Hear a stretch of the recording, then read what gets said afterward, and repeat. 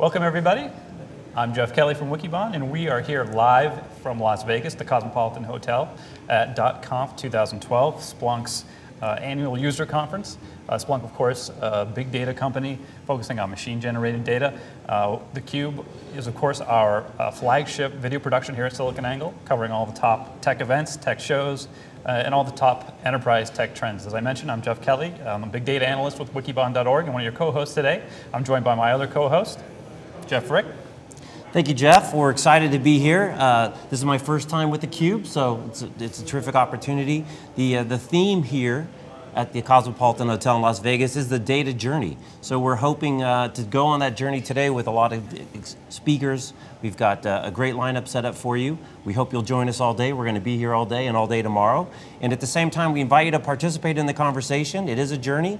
Uh, the hashtag for the event is hashtag data journey. And of course, you can always use hashtag theCUBE. So we're really excited, Jeff, and uh, I can't wait. They just wrapped up the keynote. People are streaming out, and we will get ready with our first guest in probably uh, just a few minutes? Yeah, absolutely. It's uh, going to be a really good show. Uh, we've got, among others, uh, CEO Godfrey Sullivan will be on with us. Uh, CMO uh, Steve Sommer will join us as well. but I think it's important at the at the outset to kind of talk a little bit about what you know why we're here and why this is so important. So, um, so if you're interested in big data, you know, and you haven't heard of Splunk, you really you really need to. Um, you know, Splunk is a company that uh, is getting a lot of attention today on Wall Street, and for good reason. Um, you know, big data is uh, kind of a turning point, I think, in kind of the, the, IT industry, where in the past, you know, we've collected lots of data from your internal IT infra infrastructure and other other devices, but a lot of times that data just sat there. Um, in some cases, it was even a liability because you had to secure it. There were compliance issues and things like that.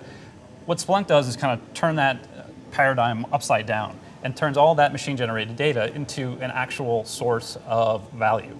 Um, it's all about ingesting machine vast, uh, massive amounts of machine generated data, turning it into insights, and then turning those insights into actions. Actually, you know, finding ways to improve efficiency, be them operational or, or otherwise, finding new lines of business even.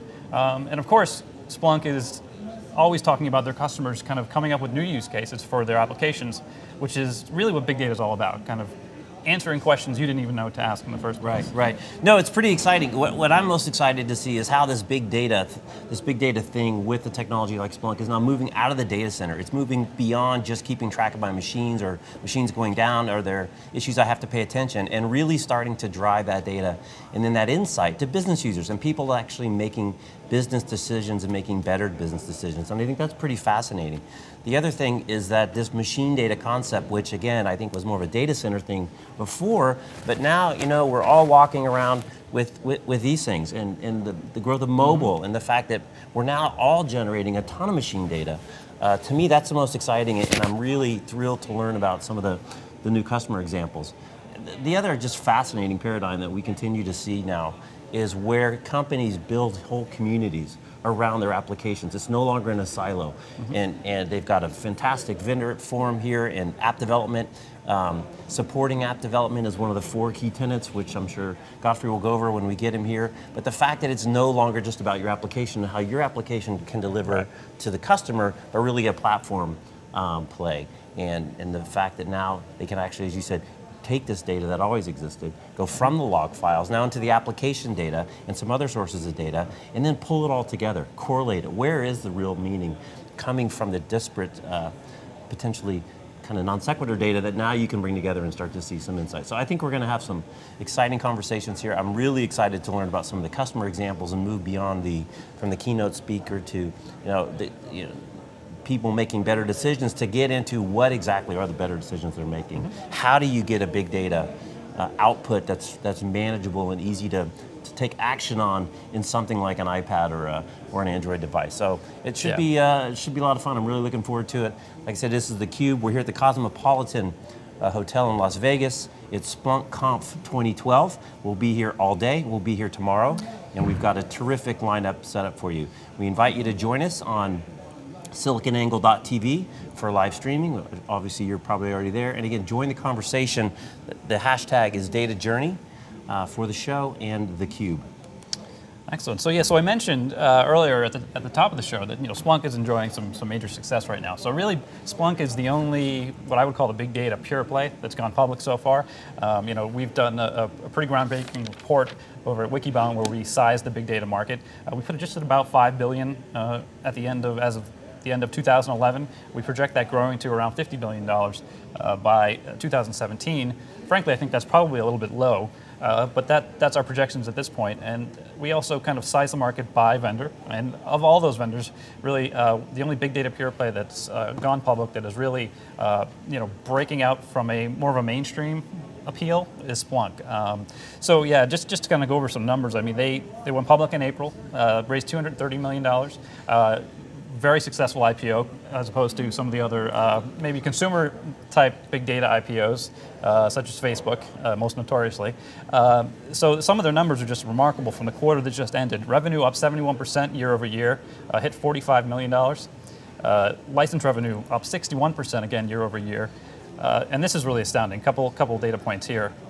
19 straight quarters that Splunk uh, has had double-digit revenue growth. So wow. I think that takes us back to 2007, if my math is right. Right. And this is another interesting point: 98 orders of $100,000 or more in the quarter that just ended, which they also added 400 uh, new customers. Think about a total of 4,400.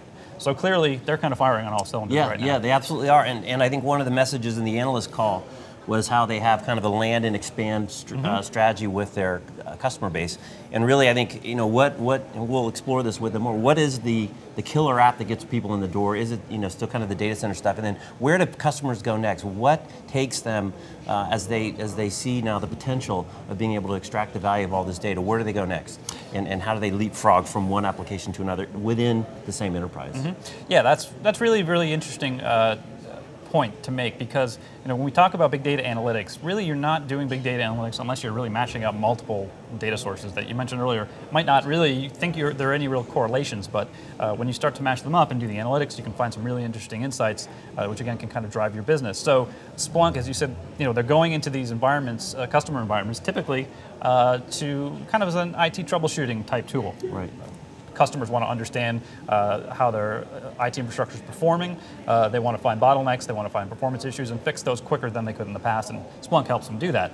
But they're also expanding, finding new use cases. Uh, there was a really interesting use case they mentioned in the keynote today uh, that uh, CEO Godfrey Sullivan mentioned about a, a Japanese company that wants to take all the data they're collecting from the elevators in their building to understand, this is a you know, residential or commercial, I should say, a real estate firm. They want to understand how that uh, relates to uh, occupancy rates and potential renewing leases, things like that. So, you know, ideas that Splunk never had, but right. their customers right. are coming up with these really interesting ideas and things they can do with the software. So uh, it's really very interesting. Um, on the news front, we should probably point out there's a couple of news announcements recently uh, from Splunk.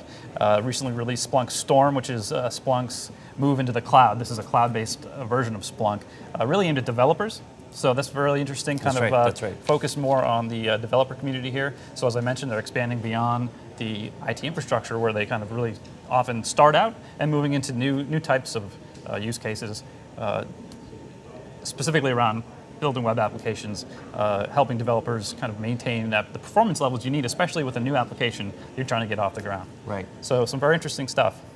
Yeah, it's, it, they've got some fun things going on here too, which maybe you didn't think about before in the big data space. But they've got uh, a game room going on where I don't know, I don't remember which games. We'll have to find out which games they're playing. But as people are playing the game, they've got a live feed into Splunk with all the data that's coming out of that that game as these people are playing it, and to see how the systems can very quickly take that data, analyze that data, and give feedback as to what's going on and how to improve the process. So I think we're going to have a great show. Um, again, it's SplunkConf 2012 here at the Cosmopolitan Hotel in Las Vegas. We're the Cube. We're going to give you the wall-to-wall coverage that you want. Uh, for those of you that couldn't make it, we're here to help you out. We'll get you the information. We'll get you the right people. We'll ask the right questions. And again, we invite you to participate uh, on this journey, the data journey, the Splunk data journey, it right? Is. Feel kind of like uh, Christopher Columbus. Um, so hashtag data journey, hashtag data journey, or hashtag the cube as always.